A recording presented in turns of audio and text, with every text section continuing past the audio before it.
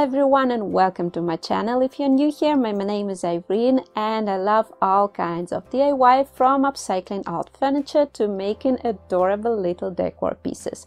I especially love Christmas and have many great Christmas tutorials on my channel, although it's not the season now, but just in case.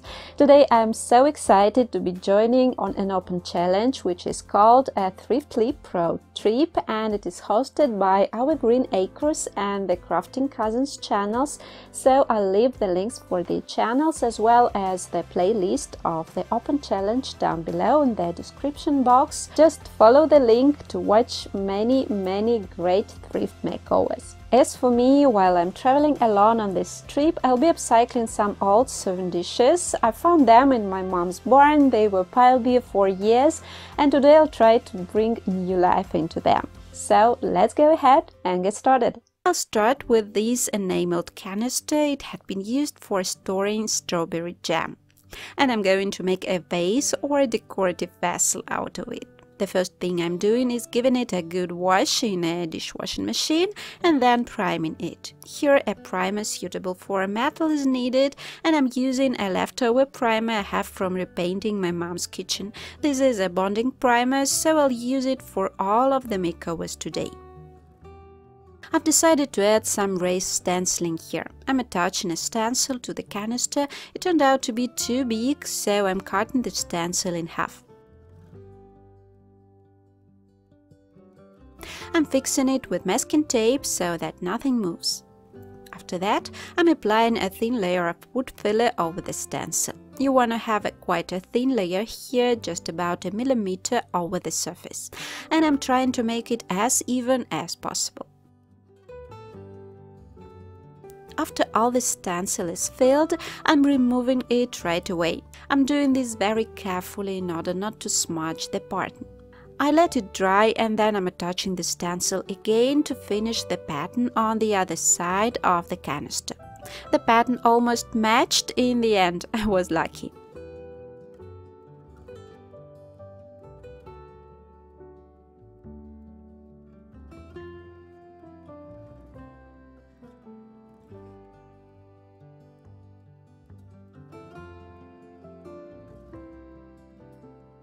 After everything dries well, I'm giving it a light sand to remove any sharp tips along the edges of the pattern and to smooth everything out a bit.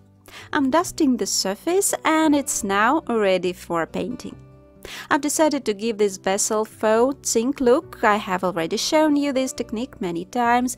I love it very much. It's especially good for old metal items because you know they are made of real metal so no one can tell this zinc surface is not real. To do it, first I'm painting the whole thing grey. I'm waiting for it to dry well and after this I'll be using another grey which is a couple of shades lighter. I'm thinning it a little with water, then I'm crumpling a wet paper towel and I'm applying the paint onto the canister surface using the towel with blotting movements. Because there's so much water, the paint spreads a little and I get blurring uneven spots of light grey.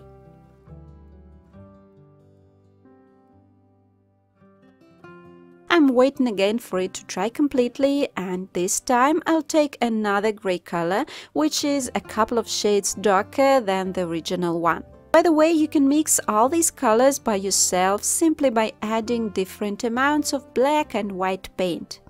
And I'm repeating all these steps again thinning the paint, applying it with a wet crumpled towel and leaving it to dry.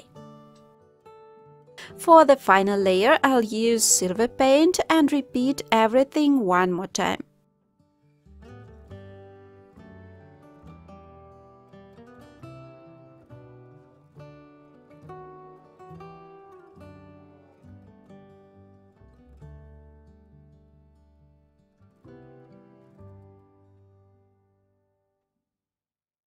After this last layer, the surface becomes almost indistinguishable from a real old zinc one. To make it yet more realistic looking, I'm adding rusty brown color in places to add this rustic vintage feeling. In order to make the raised button stand out a little, I'm also dry brushing it brown. And in the end, I'm sealing it with a satin sealer. The canister looks like a real vintage thing now, and any flower arrangement will look great here. If you repaint a wider container or vessel like this, it would make an excellent planter. Such planters look especially good in a garden arrangement. The only thing is that you'll need to seal it with a weather-resistant sealer then. The next thing that caught my eye was a small sugar bowl which had no lid. I'm going to make an antique clay vessel out of it. First I'm cleaning and priming the bowl and then I'm painting it dark grey. Actually, this wasn't necessary as I'll make the texture using a wood filler and it holds well on ceramic as is and besides the layer of putty covered the main color almost completely in the end but at that time I didn't decide what exactly I would do with the bowl so I primed and painted it.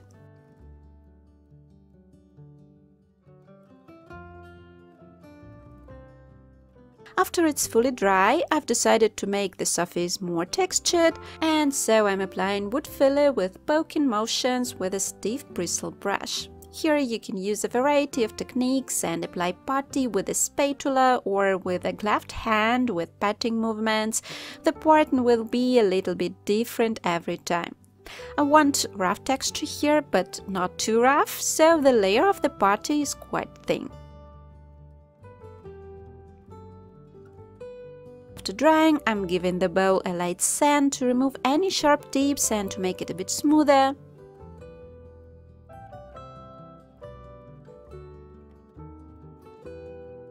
Next, I'm going to paint the bow. I'm applying the paint with a stiff bristled brush in a rubbing motion, so I'll get uneven blended spots all over and I'm also layering colors. First I'm applying brown, then grey, then greenish beige until I get an overall uneven grey-brown tone. Here you can play with colors depending on what shade you want to end up with. You can use only grays or only beige shades, just use very natural earthy tones. To smooth out the transitions between different shades, I'm thinning a light brown paint with water and applying it all over the bowl and immediately erasing it using a wet cloth so the coating gets translucent. You can also layer these wet steps till you like the result.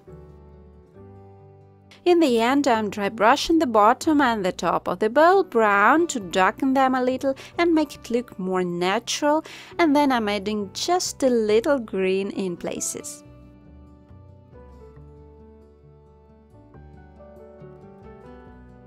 Finally, I'm sealing the bowl with wax. It turned out to be a charming little vessel. It will go especially well in a modern minimalist interior, making a nice contrast, although it looks quite organic among vintage items as well. My next project is an old coffee pot. I like its shape, but I've decided to change its color. First I'm cleaning and then priming it just as the other items.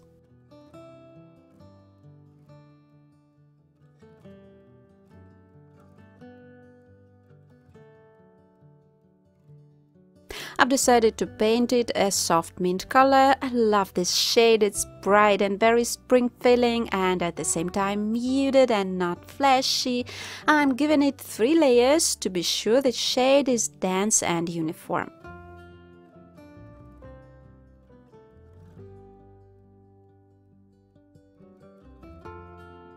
The coffee pot looks like new after repainting, but I opt for an older look, so I'm painting the upper rounded edge dark grey, imitating enamel. I'm also darkening the spout of the pot and in places I'm adding little dark spots as if the enamel has chipped off here. Well, finally I've decided to add some nice writing here. I've printed the picture on a laser printer and I'm covering it with a couple of layers of glossy varnish. I'm also applying varnish to the side of the coffee pot. I let it dry well and after this I'm applying more varnish where I want the image to be and pressing the image tightly to it face down.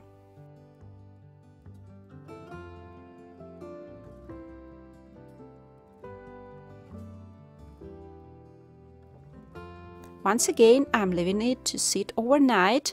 Then I'm moistening the paper well and gently rolling it with my fingers until the image appears. You want to roll the paper long enough so that there are no white spots from the paper left, but be careful in order not to remove too much.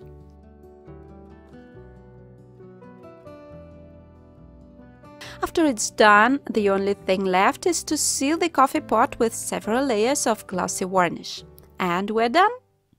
As you can see, this is a very quick and simple makeover. You can repaint any old teapot like this if you say like the shape but don't like the color or it just looks sloppy because of age like mine did. You can put flowers in such a pot or simply use it for decorating and arrangements. And finally I've cut a dish. I think this was a biscuit dish, it's very old and has many chips along the edges. I want to make a tray out of it. So after a spa session in the dishwasher, I'm priming the dish just like everything else.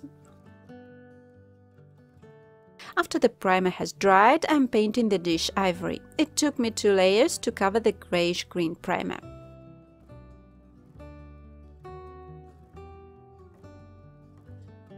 Now I've remembered that I have very nice napkins in white and blue. This is from Michael Design Works. I'll leave the link for it in the description box below. I'm cutting out an oval according to the size of the bottom of the dish as I want to get the smoothest surface without any wrinkles. As you can see I've placed the part of the print with a bird in the very center. And I'm cutting out two pieces for the sides of the dish from the rest of the napkin. I'm also cutting out the print near the edges so that the edges are not so noticeable.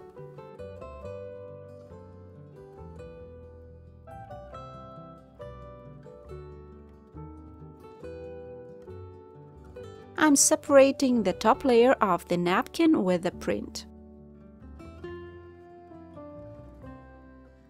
I'm placing the napkin face down on a sheet protector, moistening it and gently straightening it right on the sheet protector. I'm applying Mod Podge onto the bottom of the dish and attaching the napkin here right over the sheet protector. It's transparent so you can see well how it goes. I'm pressing the napkin to the surface and then carefully removing the sheet protector and we've got a perfect surface without a single crease. Napkins increase in size a bit when moistened and because of this you may get creases after applying them as Mod Podge also contains water and if you pre-moisten a napkin over a sheet protector like this you will remove any creases easily. It's a little bit more complicated to work with the dish sides. Firstly, the napkin doesn't fit on the sheet protector in length, and secondly, the sides of the dish are not flat, so it's a bit harder to attach the napkin with the sheet protector here, but in the end it worked. The main thing here is to take your time.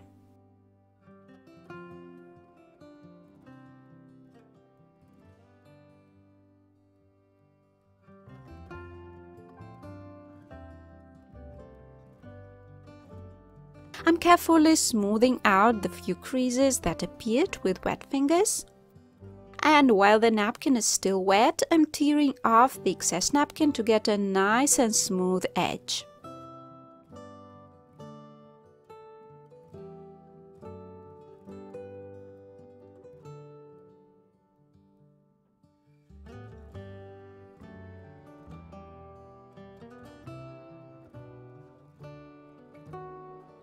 Also decided to make the sides for the tray. So I'm making a long cast strip from self-hardening clay. In order to make the cast of the desired length, I'm taking out the ready-made piece and laying its edge back into the mold. I'm doing this because clay almost always shrinks a little after drying and all the joints diverge and if you have a single piece, this will not happen. I'm applying Mod Podge along the edge of the dish and attaching the finished cast to it. I'm cutting off a couple of leaves at the end of the cast to get a kind of a finished tip like on a real garland. Similarly, I'm making the second garland and attaching it on the second half of the dish. After drying, I'm painting the leaves ivory, the same color as the main dish is,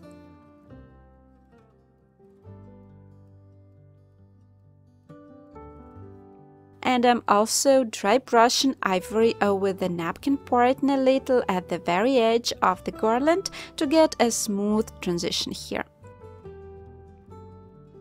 I'm waiting until everything dries well, then I'm thinning the blue color with water. I've picked up more or less the same blue shade as the napkin has.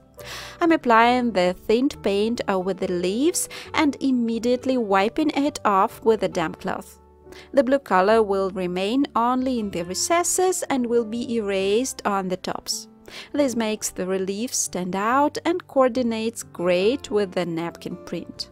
Finally, I'm dry brushing the leaves ivory, as I thought they are a bit dark.